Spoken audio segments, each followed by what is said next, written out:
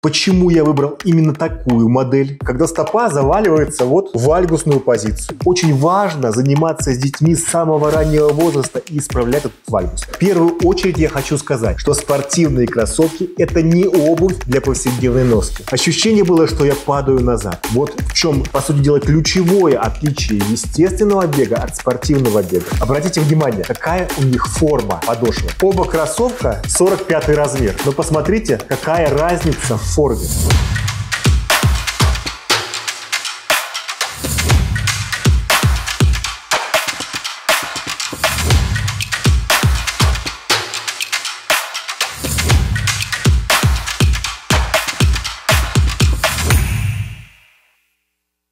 Я купил необычные беговые кроссовки. Часто их называют ортопедическими, но это не ортопедия. Часто их сравнивают с босоногой обувью, но это не босоногая обувь. Это очень необычный, интересный инструмент для спортивного бега. И в этом видео я расскажу вам об особенностях данного вида кроссовок, о причинах, почему я выбрал именно эту модель, а также расскажу вам свои эмоции от первой примерки. Это бренд Altra, разновидность кроссовок Torin. Поехали!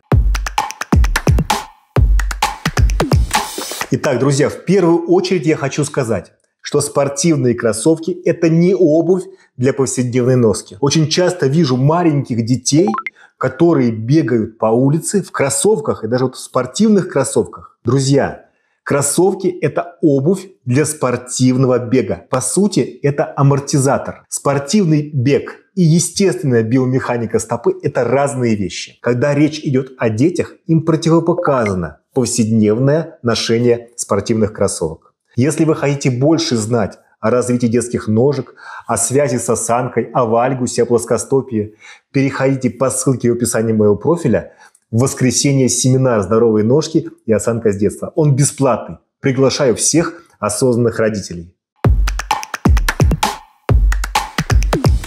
Итак, чем же отличаются вот эти кроссовки? Да? Какая у них уникальная особенность? Это бренд Altra. Он появился в 2009 году и, по сути дела, произвел такую мини-революцию в спортивной обуви. Идея была какая?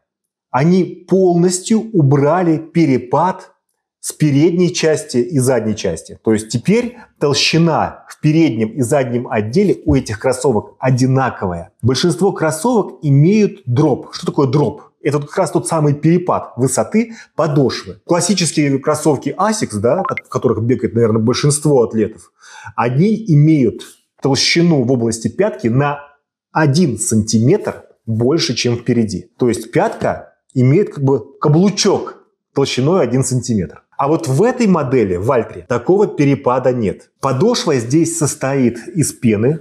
Эта пена имеет одинаковую толщину и сзади, и впереди. Причем здесь она в этой модели составляет 3 сантиметра. 3 сантиметра толщина подошвы. Она замечательно амортизирует, она обладает такой эластичностью, она не очень гибкая, но она имеет вот такой вот загиб в переднем отделе. Вообще для чего нужен загиб в спортивных кроссовках? Когда мы бежим, мы должны как бы перекатываться. То есть нету активного выталкивания пальцами, есть перекат стопы. А выталкивание осуществляется за счет бедра и ягодичной области. Вот в чем, по сути дела, ключевое отличие естественного бега от спортивного бега. При спортивном беге стопа работает как колесо, а при естественном беге стопа активно выталкивается пальцами. Где важен вот этот перепад? Почему кроссовки изначально делались с э, дропом 8-10 мм? Потому что у бегунов очень часто проблема с ахиллом. И если у спортсмена проблема с икроножной мышцей, с ахилловым сухожилием, ему нужно немножечко приподнять пятку, чтобы защитить ахилл. Кроме того, для тех спортсменов, кто бегает с пятки, Здесь всегда была более толстая прослойка для лучшей амортизации, а впереди она всегда была более тонкая. Следующий важный момент, который отличает вот эти кроссовки. Обратите внимание, какая у них форма подошвы. Она очень широкая впереди, да, согласитесь. Необычно смотрится, быть может, даже как-то громоздко на первый взгляд. Но в этом есть большой смысл. Я специально взял, достал стелечку из э, второго кроссовка. Посмотрите, какую необычную форму имеет данная стелька. И достал стельку из своих адиков, которые используют для повседневной носки. Смотрите, оба кроссовка 45 размер. Но посмотрите, какая разница в форме. Adidas более узкие, и несмотря на то, что это один и тот же размер, посмотрите, какая разница в длине оказалась. Все благодаря тому, что форма переднего отдела у Альтры более анатомична. И ей не нужно иметь больший запас впереди. Вот если я в Adidas взял бы размер меньше, чтобы он соответствовал длине, вот как у, э, у Альтры, у меня бы палец, большой палец, уже вот здесь бы упирался, и мне было бы неудобно. Поэтому 45 размер Adidas имеет вот такую длину, а 45 размер Альтра имеет длину на сантиметр меньше. Все это благодаря анатомичной форме. К тому же, если стать на стелечку, вот на такую, конечно же, вы увидите сразу невооруженным глазом, каким образом э, чувствует себя передний отдел стопы вот в этой обуви. Передний отдел широкий, и пальцы здесь не зажаты. Каждый пальчик получает возможность а, естественно работать. Поэтому это, на мой взгляд, очень хорошее качество. За исключением тех людей, у которых есть распластанность, деформация и нестабильность переднего отдела стопы. Вот для таких людей нужна более узкая обувь, которая обеспечит хорошую боковую поддержку переднего отдела стопы. Отдельно хочется сказать про спортсменов с гиперпронацией. Что такое гиперпронация? Когда стопа заваливается вот в вальгусную позицию. Поэтому вот эти кроссовки, они не предназначены для спортсменов, у которых есть тенденция э, плоско-вальгусной деформации стопы. Конечно же, этот вальгус, он возник не во взрослом возрасте. Это все из детства. И очень важно заниматься с детьми с самого раннего возраста и исправлять этот вальгус. Включать те мышцы, которые стабилизируют стопу. Поэтому я не устаю вас приглашать на мой бесплатный онлайн-семинар «Здоровые ножки и осанка с детства». А, регистрация в описании а, к этому видео. Переходите по ссылочке и увидимся на семинаре. Есть модели у любого производителя, в том числе и у Альтры, а, для людей с гиперпронацией. У них вот здесь вот есть поддержка для свода стопы. Как альтернатива а, можно изготовить самые обычные кроссовки, а, индивидуальную спортивную стельку. Современные профессиональные системы для спорта – это термоформуемые стельки, которые просто э, вставляются взамен своей родной стельки и обеспечивают поддержку свода стопы. Но вот в такие кроссовки данная стелька не зайдет поскольку форма тех стелек, э, про которые я говорю, она скорее ближе вот к этой форме, чем вот к этой форме.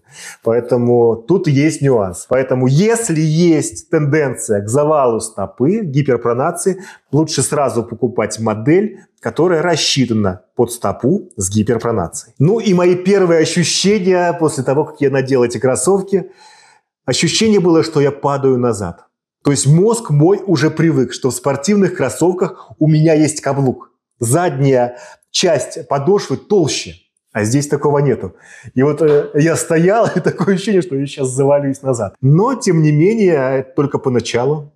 Постепенно мозг за первые, наверное, 300-400 метров перестраивается, и возникают совершенно другие ощущения. Во-первых, ощущение вот этой свободы в переднем отделе. Когда каждый твой пальчик – а ты его чувствуешь, как он работает самостоятельно. Это фантастическое ощущение, но очень важно понимать, что все равно вот эта форма, она, она во многом похожа на босоногую обувь, но это не босоногая обувь. Почему? Потому что в босоногой обуви подошва тоненькая, для того, чтобы чувствовать каждое изменение поверхности а, земли. Здесь подошва толстая. И, конечно же, здесь бег э, не относится никаким образом к босоногому бегу. Хотя функционально передний отдел широкий и не зажимается.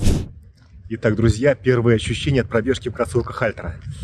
Ну, во-первых, то, что Zero Drop Вот. А я-то обычно бегаю либо с пятки, либо со середины стопы. А, возникла такая ситуация, что с пятки я в этих кроссовках бежать не могу.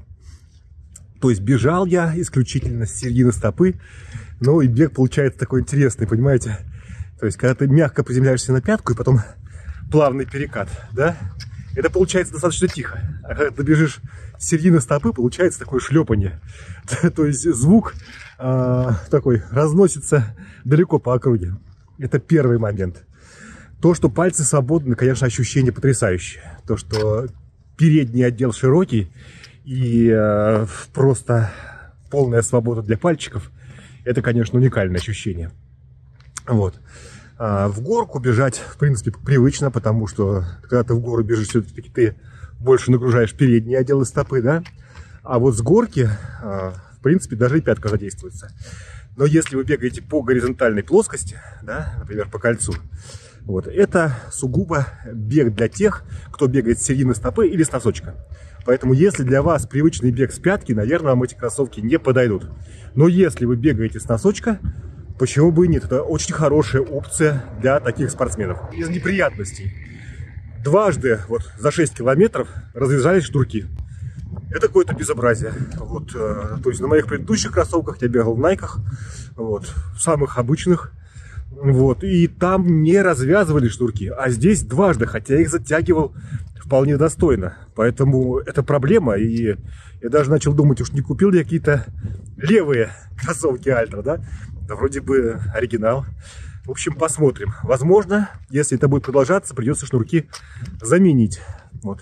А так, в целом, кроссовки хорошие, вот, но подойдут не для всех. В целом, мои ощущения от этого типа обуви положительные. Очень приятное ощущение широкого переднего отдела. Очень приятное ощущение того, что нет каблука и бег становится более физиологическим, на мой взгляд. Возможно, вы будете иметь какое-то другое мнение. Особенно если у вас есть проблема с ахиллом, наверное, все-таки лучше оставить модели обуви с каблуком, да, с дропом. Но, тем не менее, возможно, вам есть что сказать по этому поводу. Напишите это в своих комментариях. А я, как врач-ортопед, возможно, тоже прокомментирую что-нибудь по этому поводу. И обязательно подпишитесь на мой телеграм-канал. Ссылка в описании к этому видео. Там еще больше интересной и полезной информации. Пишите в комментариях, какие темы вам интересны. Мы их тоже можем разобрать, потому что мой канал создан для вас, чтобы приносить максимальную пользу. Спасибо за внимание и до новых встреч!